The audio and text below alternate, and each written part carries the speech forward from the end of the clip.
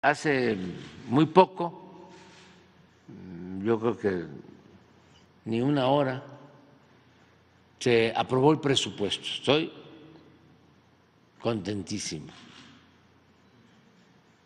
muy contento.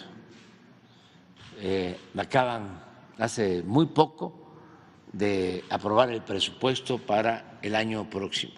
Es muy buena noticia, muy buena noticia, porque es el presupuesto para el bienestar, para seguir combatiendo la pobreza y para seguir reduciendo la desigualdad económica y social.